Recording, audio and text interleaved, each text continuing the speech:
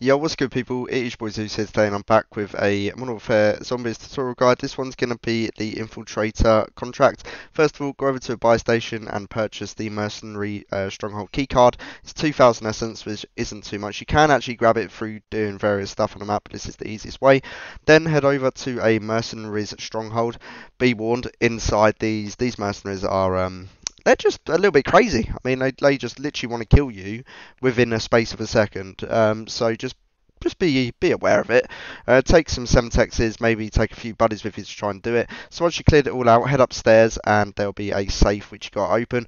Now be warned, once you do start drilling this safe, you will be greeted with another boatload and helicopter load of um, mercenaries and they don't mess about. So I ended up getting a cluster mine placing that downstairs and then just literally setting up shop.